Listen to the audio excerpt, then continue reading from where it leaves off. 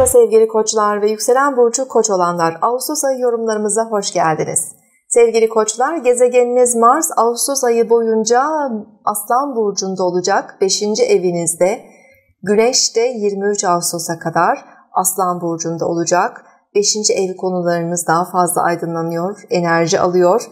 Dolayısıyla sizin de motivasyonunuzun, yaşam enerjinizin yüksek olduğu bir ay. Ee, her türlü konuda daha girişken, daha cesur, daha hevesli olabilirsiniz ay boyunca. Ee, yılın önemli bir ayı, 2017 yılının son güneş ve ay tutulmalarını yaşayacağız. Dolayısıyla yaşamımızda böyle hızlı, kadersel gelişmelerle de karşılaşabiliriz. İlk tutulmamız 7 Ağustos'ta meydana gelecek. 15 derece kova burcunda Dolunay'la beraber ay tutulması 11. evinizde oluyor.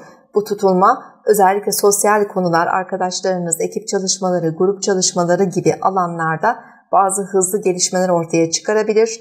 Tamamlanma enerjileri de taşıyor. Tabii ki bazı projelerinizin sonuçlanması, bazı hayallerinize, dileklerinize, arzularınıza kavuşmanız, e, takdir edilmeniz, ünvanınızla ilgili bazı özellikle kariyerle ilgili konularda maddi manevi e, sevindirici gelişmeler olması mümkün.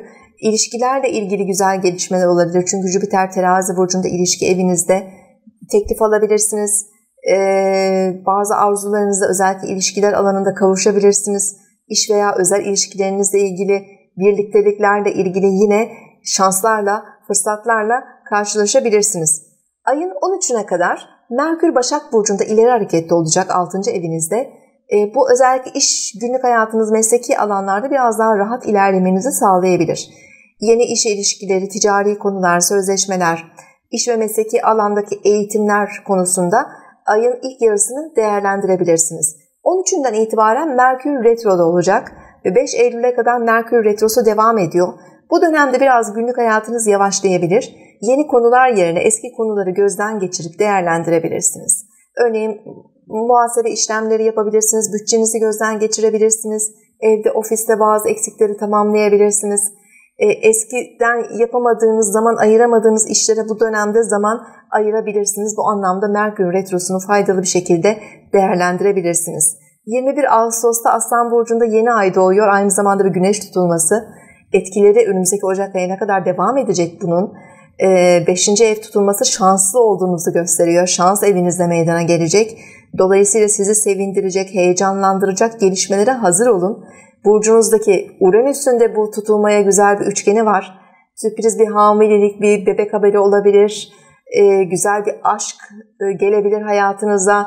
Toplum önünde dikkat çekebilirsiniz, takdir edilebilirsiniz ün, şöhret gibi konularda yine gündemde sanat ve sporda elde edilebilecek başarılar veya herhangi bir alanda şansla karşılaşmanız maddi manevi mümkün görünüyor sevgili aslanlar. Bu e, sevgili koçlar bu güzel dönemi iyi değerlendirin.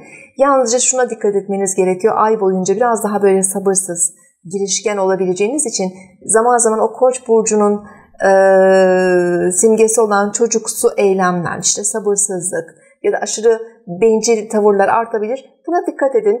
Ee, özellikle ilişkilerinizde karşınızdaki kişilerin beklentilerine de biraz daha e, hassas olmakta, dikkat etmekte fayda var sevgili koçlar. Önümüzdeki ay görüşmek üzere. Hoşçakalın.